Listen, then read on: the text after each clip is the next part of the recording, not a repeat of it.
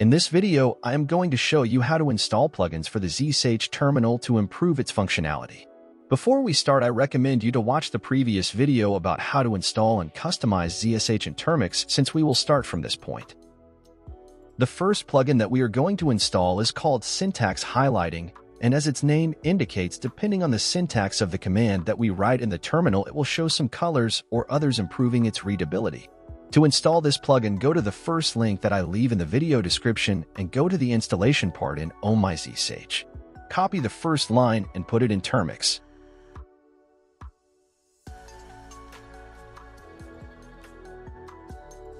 Then copy the plugin name and paste it in the .zshrc file in Termux in the plugin section.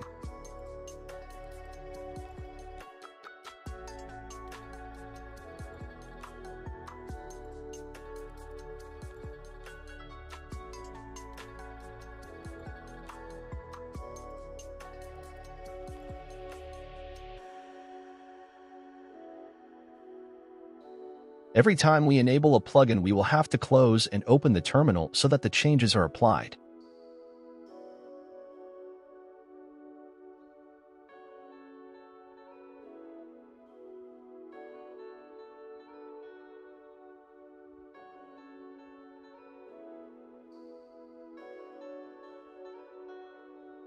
The next plugin we are going to install is a plugin to auto-complete the terminal commands based on the terminal history.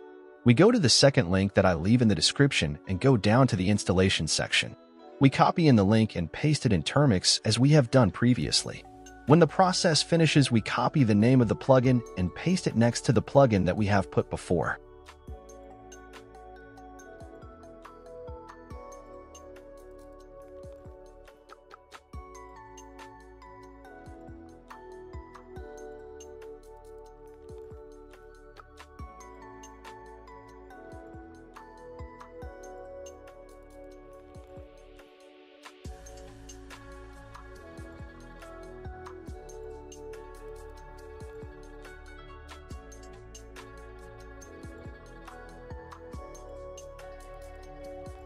We restart Termux again, and we will have both plugins installed.